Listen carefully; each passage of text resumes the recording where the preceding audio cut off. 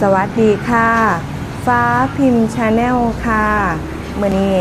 มีเมนูแซ่บๆเมนูเด็ดมานำเสนออีกแล้วค่ะมื่อนี้สิพามาชิมกล้วยจับค่ะ เป็นร้านกล้วยจับยวนนะคะซื้อร้านก็คือจับไม้นะคะ ร้านจับไม้อยู่ถนนพญาสุเรนค่ะ อยู่ตึกใหญ่ข่างปั๊มพี่ที่นะคะ ถ้าผู้ใดอยู่ใกล้หรือมีโอกาสแวะผ่านไปผ่านมาก็ลองมาชิมเบิงเด้อค่ะร้านเพิ่นขายหลายอย่างค่ะบ่ว่าสิเป็นติมซ้ำซาลาเปา แล้วก็เมนูอาหารก็มีหลากหลายค่ะ รับรองว่าแซ่บถูกเมนูเลยค่ะสำหรับมื้อนี้เมนูที่พิมพ์จะพามาชิมก็คือ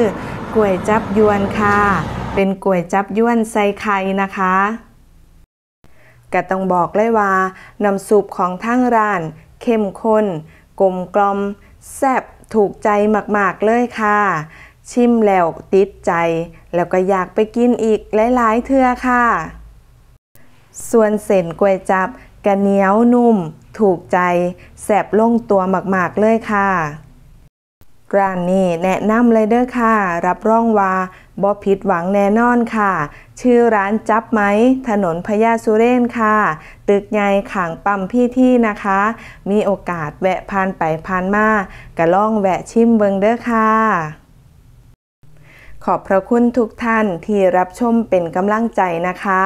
ฝากกดติดตาม กดไลค์ กดแชร์ เป็นกำลังใจให้ทางช่อง ได้ทำคลิปใหม่ต่อๆไปในเด้อค่ะ ขอบพระคุณทุกกำลังใจค่ะ เจอกันใหม่คลิปหน้าค่ะ สวัสดีค่ะ